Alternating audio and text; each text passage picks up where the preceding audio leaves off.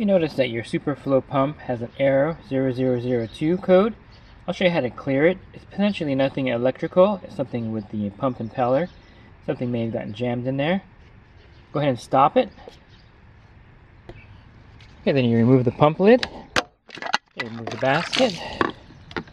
And you just want to get a screwdriver and kind of spin the impeller. There may be something stuck in there. If you can get it unjammed. Then you would fill this with water. I have a check valve in front. Okay, once you reinsert the pump basket, put the lid back on. If you're not comfortable clearing the blockage from the front of the pump, you can use an Allen wrench in the back and just rotate the impeller to the back.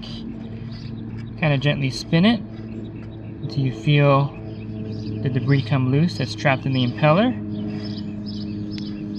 Once it's spinning freely, you know you cleared the debris. You can try this method also. And now you want to reset the breaker by turning the pump all the way off and turning it back on again.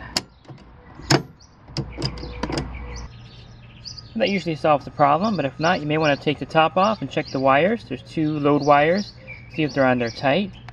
Let me see if that cleared it. And everything's starting up. So if your SuperFlo has the error code 0002, more than likely there's something clogged in the impeller. Go ahead and unclog the impeller, reset the pump at the breaker, and that should clear the error code. InyoPools.com is a proud sponsor of swimming pool tips and have been helping pool owners find the right pool parts since 2001. With over 50,000 pool parts in stock, order online today and have your parts delivered right to your door.